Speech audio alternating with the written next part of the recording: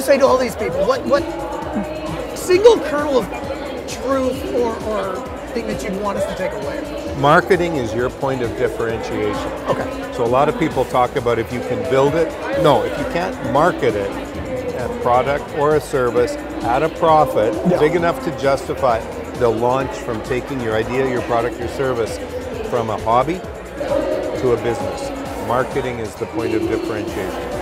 You're saying all the things I tell people too. So that tells me I'm doing something right. Well, I would ask you to tell my son because he doesn't listen to me, but everyone else does. My son doesn't listen to me either, so I totally understand. Well, you know what? Thank you very much, Brett, for uh, coming out I've today. enjoyed it. I'm looking forward, if I were to uh, hearing you tonight at ESAX, uh, tomorrow at Startup on the Hill. We'll be checking Oh yeah, there's a there. lot of lot of conversation still to come. Yeah, I can't Thank wait. you. So thank you very much. Thank you, everybody. This is uh, Jean-Paul Yovanoff here at ESAX.